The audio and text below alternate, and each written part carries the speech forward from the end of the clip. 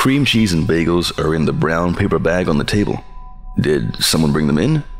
I can't recall. I'm sure at least a few of you have had to treat a manic patient before. Most manic patients who state that they can bend reality to their will are delirious. In these walls, though, chances are that they can. This makes treatment significantly more difficult. Shots of lorazepam aren't as effective when the patient can turn them into saline. However, when you remove reality from the equation, they are at their most vulnerable. You occupy a reflection of the subject's psyche, the world in their image. You have as much control in this reality as you do in the reality of a shaper. And with that minuscule amount of control, you've managed to find yourself with a job at a paranormal research agency. Too philosophical for you? How about a brief lesson on the Foundation's favorite medicine? The majority of amnestics are bimodal agents, one part selective GABA receptor agonist, and one part brain lesioning agent. The most common agents have to be cleaved by a liver enzyme to regulate the dosage of the active metabolite. We have many ways of delivering amnestics sprayer trucks, aquifer release, pills, eye drops, injections, patches, gummy bears. Why? Because there are many things we want to forget and very few things we want to remember. I'll set the scene.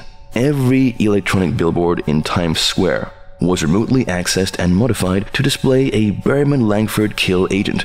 It's quite the sight for inoculated eyes. Hundreds of bodies lying there, with spiraling fractals hanging overhead.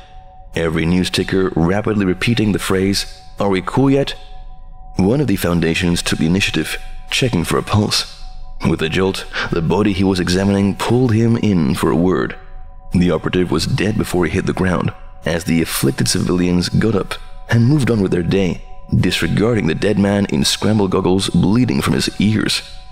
An auditory kill agent embedded into a visual cognitohazard, the perfect excuse to deploy an experimental amnestic agent en masse. There's a neurological basis for PTSD. Noradrenaline released in response to trauma changes memory formation, making things stick around in your head far better. You can imagine how this interacts with amnestic agents. People feel that something happened to them. They get flashbacks to nothingness, or memories made just after they receive the amnestic. Don't worry, the symptoms fade without the trauma being present in memories. But these are some of the consequences of exposing such a large chunk of the population to amnestics. How about a case study? Get a feel for what it's like to treat an anomalous patient. The patient, JR, was a child with anomalous properties. From what could be ascertained from the patient's screaming, his right eye allowed him to see the future. After a few weeks of researchers asking probing questions, not once allowing the patient to receive any sort of psychological care, the patient attempted to end his misery. His esophagus was damaged badly enough that a tracheotomy was necessary. The patient received the treatment in his room, as the injury was deemed not traumatic enough to necessitate the movement of the patient through the facility to an infirmary. An on site psychiatrist was brought in for an emergency session with the patient. As soon as they were given privacy, the patient spoke of what he saw through his bad eye and his fear of being trapped in containment forever.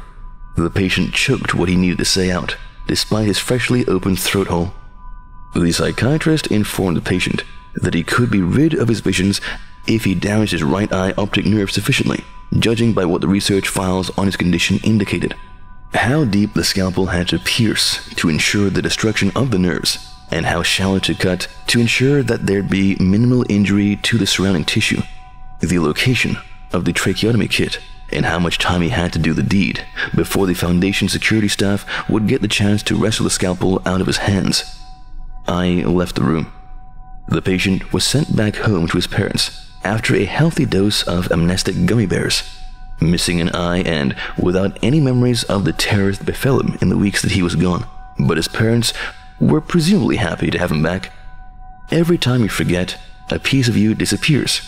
Mistakes wiped away with a pill and paperwork. Enough time, and you will even forget that you forgot. All that's left is debris. I don't work for the Foundation anymore. That piece of me is gone.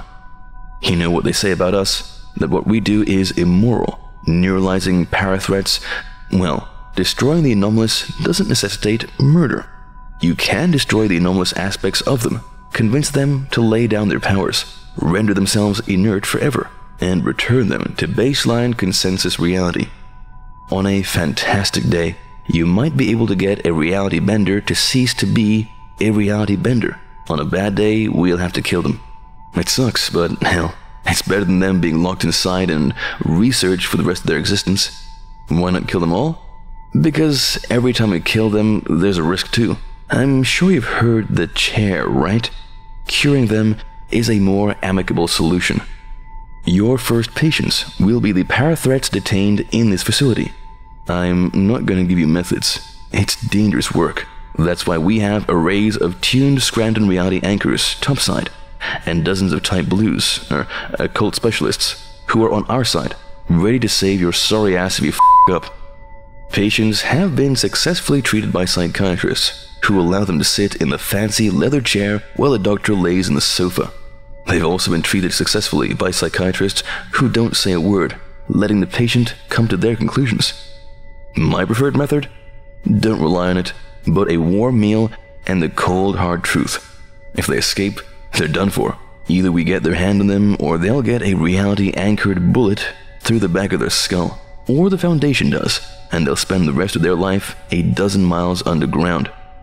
After that, I give them the way out. Once they're no longer parathreats, they're out of our hands. They'll be amnesticized and return to their normal life. The rarely offered alternative is to give the post greens a position at the GOC. The experience of having been reality bender is quite useful in this field.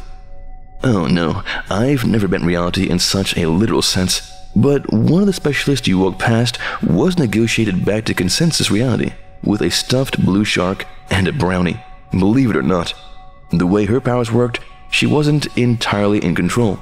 Her fears could turn an innocent stuffed shark into a real one. She would never be able to appreciate simple things in life like that without her fear becoming real. Once I figured that out, I asked her if she feared losing her powers, and then it was inevitable. The fear became reality. Psychiatry is best used to expose flaws in people's thinking, breaking negative looping thoughts, helping people out of ruts, while working in their system of beliefs and logic. There are well over a dozen contained reality benders in this facility alone. The weight of their collective ego is a gravitational anomaly detectable from orbit. A ticking time bomb rests underneath the facility, threatening to wipe us out if we screw this up. The world can't take being this broken forever, can it? Well, we have work to do. I hope you enjoy a challenge. End of file. To learn more about the SCP Foundation, subscribe to SCP Orientation today and turn the notification bell on so you don't miss any of our videos.